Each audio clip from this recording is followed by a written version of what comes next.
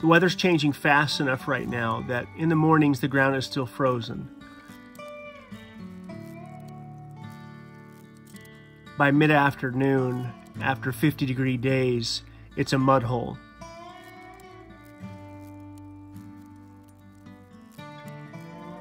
I decided the only way to get the drywall up here without it being covered in mud was to pick it up the night before and haul it up first thing in the morning.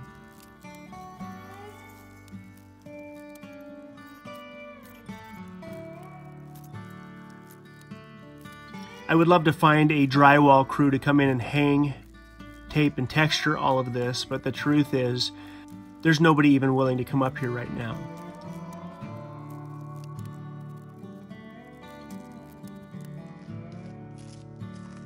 Once I get the drywall hung, I still don't think I'll be able to find a crew that's willing to come up here and do this for me.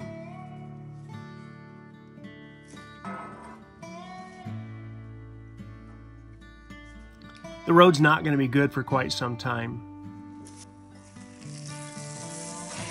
I'll have to get it done myself.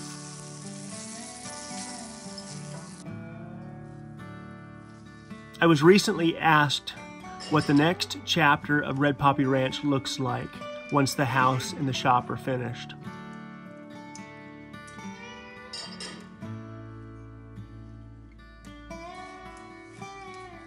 My answer was I'll always have projects around here that I'm doing. That's just in my nature.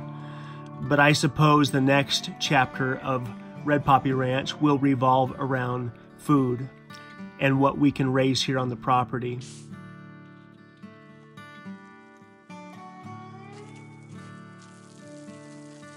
For the last year, I've been trying to find a good company to partner with when it comes to good quality meats, specifically grass fed beef.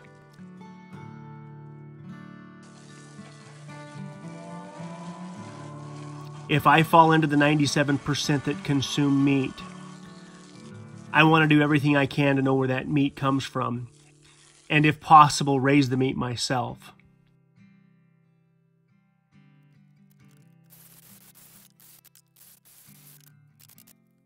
Because we're not in a position quite yet to do that, I began looking for a good company to work with.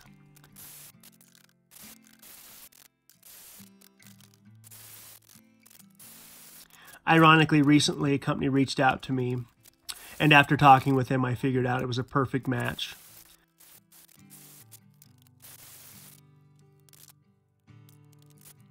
Their website is called farmfoodsmarket.com.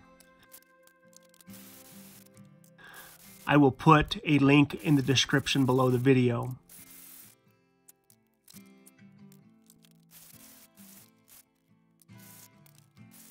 Not only are they a non subscription source for high quality grass fed beef that's affordable, but they prefer to work with small farms and ranches. This was probably the thing that pushed me over the top with them.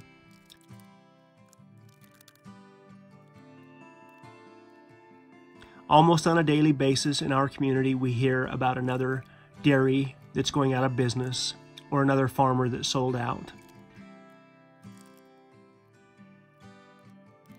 The idea that farm foods specifically tries to work with small ranches and farms, doing everything they can to help them make it. And then on top of that, provide very high quality products. It didn't take me long to figure out that I wanted to work with them.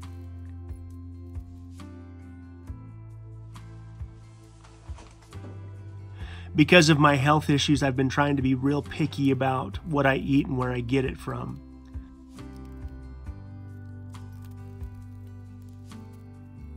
The long term goal with food and Red Poppy Ranch is what I call being one degree away from our food. What that means to me is if I didn't raise it, harvest it, kill it, hunt it, or catch it, I want to know who did. Not only does Farm Foods provide some of the highest quality beef that I've had, but they went as far as introducing me to the ranch that it came from. This ranch also happened to be in my state.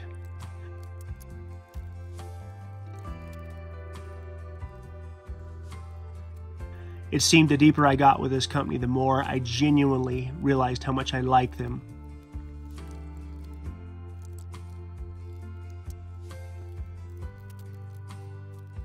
When it comes to beef, you have a tendency to get what you pay for. But the fact that they're a non subscription based company with all the right morals and values gave me no reservations when endorsing them. Again, I'll put a link in the description below. I appreciate all the different ways that people offer to support us, and I suppose if I could make one suggestion, it would be to support those that support us. Back to the house.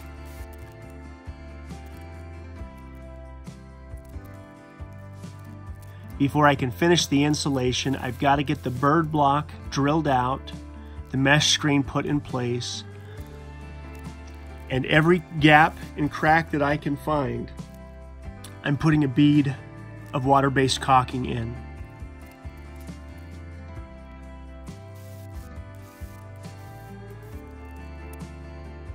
Because our place is not a place that was farmed before, there has never been pesticides or herbicides used. We love this about the place.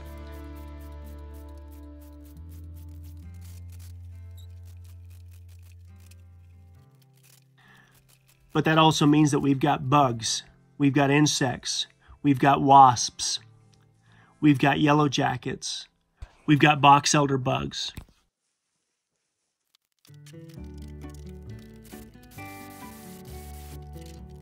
Like the woodpeckers, raccoons, deer, moose, elk, coyotes, and possibly even a wolf wandering around. They were here before we were.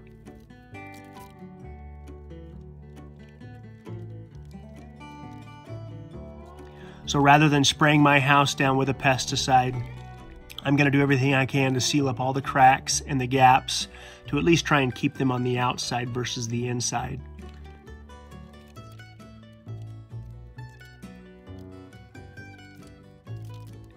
Now that I'm basically done with all the preliminary stuff before getting serious with the Roxul insulation, I shouldn't have to worry about the inside as far as the insects are concerned.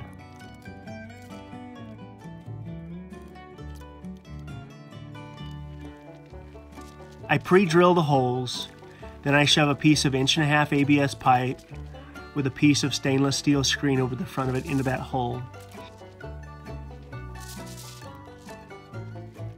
Silicone around both the back and the front sides. This allows the air movement that's required by code and hopefully still remains tight enough to keep the bugs out.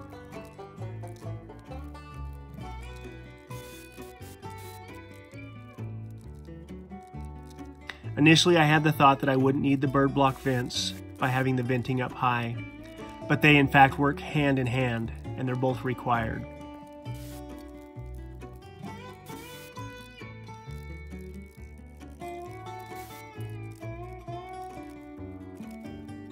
Now the spray foam has been a bit of a learning experience.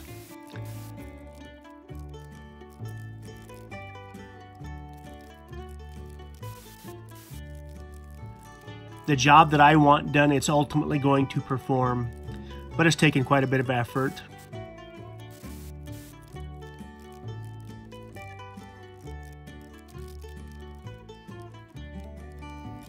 I suppose I could have ordered a couple of the larger canisters online, but I wasn't sure just how much I needed initially.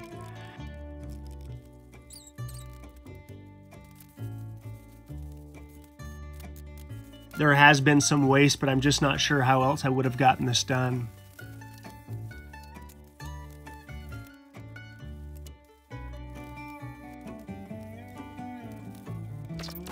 My objective is to seal each and every one of these bays around these pipes. I didn't know how many cans it would take.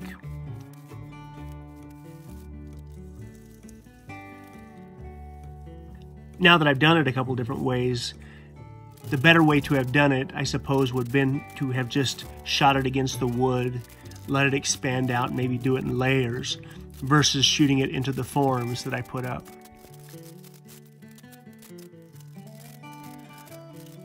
But some of these things you just got to try to figure out. Either way, I feel more than confident that the end result will be the same. These pipes will be insulated from the cold, and we shouldn't have to worry about any potential breaks in the lines.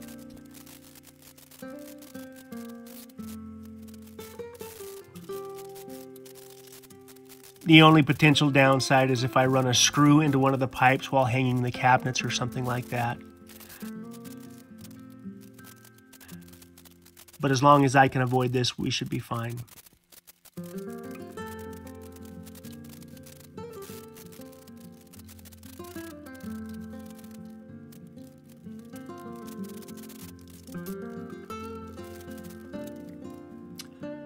This is the laundry room upstairs.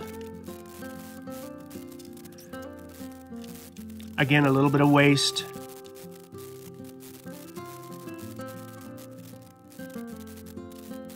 I'm using a six inch razor blade to cut the excess off and it's working perfectly.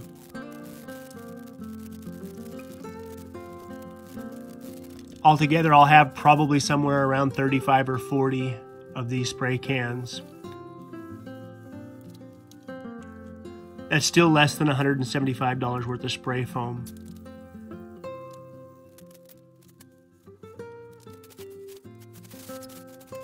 I feel more than confident by the end of the week we'll be on the drywall.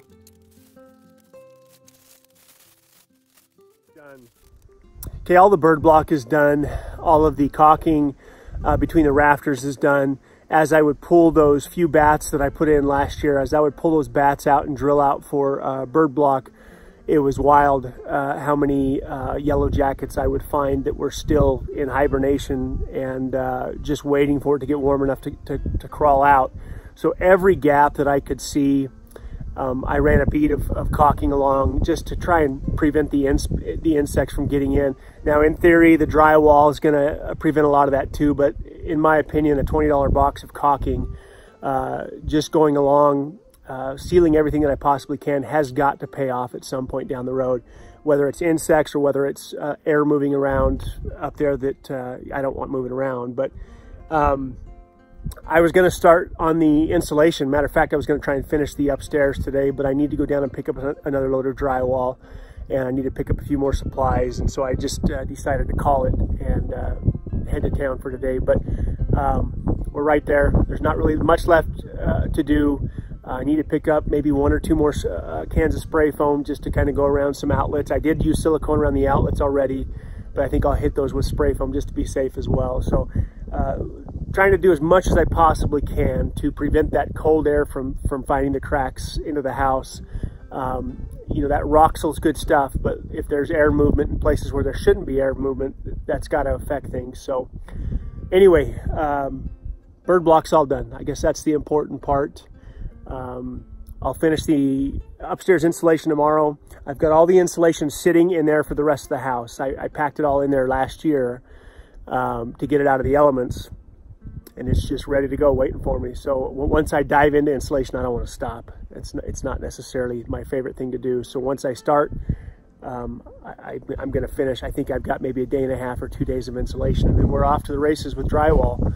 I made a phone call down to the inspector to ask him any more questions about anything specific with drywall, and there's uh, there was nothing that I that I hadn't already uh, taken into consideration. So uh, next inspection is what's called my screw off inspection where uh, he's going to come and inspect the drywall and make sure I got enough screws uh, on the studs and that's basically it. So I'm just trying to decide if I'm going to do 10 foot or 12 foot sheets um, on the ceiling downstairs and how many of those sheets I need. Uh, I'm not going to do 12 foot sheets upstairs obviously because it'll just be miserable getting them up there but we're right there we're right there. There's not much left to do. So the next few days should be really interesting. I'm, I'm really looking forward to trying to get some, some sheetrock hung and, and see how fast this is going to go.